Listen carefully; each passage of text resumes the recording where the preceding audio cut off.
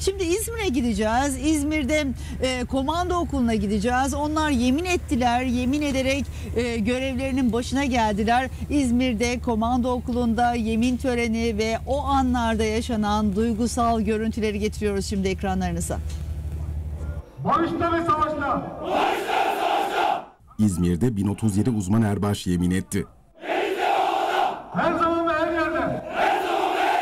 Uzman erbaşlar için Yeni Foça Jandarma Komando Teröristle Mücadele Harekatı Okul Komutanlığı'nda tören düzenlendi. Andınıza sadık kalarak bu fedakar hizmetler neticesinde ülkesi ve milletiyle bölünmez bir bütün olan Türkiye Cumhuriyeti sarsılmaz omuzlarınızda daima yükselecek ve şanlı bayrağımız sonsuza kadar dalgalanacaktır.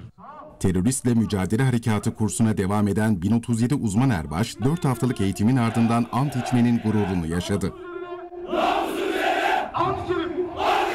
Burada olduğumuz için mutluyuz. Vatanımız için canımızı feda etmeye bile razıyız. Gereken ne varsa tüm fedakarlığa için buralara geldik. Görevimizi yapacağız sonuna kadar. Törende tüfekli hareketler, yakın dövüş teknikleri ve kule inişi gösterileri sergilendi. Komandoların nefes kesen gösterileri izleyenlerden büyük alkış aldı. Törenin ardından uzman erbaşlarla aileleri kucaklaştı. tarif edilemez bir duygu. Çok mu mutlu oldunuz? Çok, Çok mu özlemiştiniz? çok, çok evet. Kimi anne babasına, kimi de eşi ve çocuğuna kavuştu.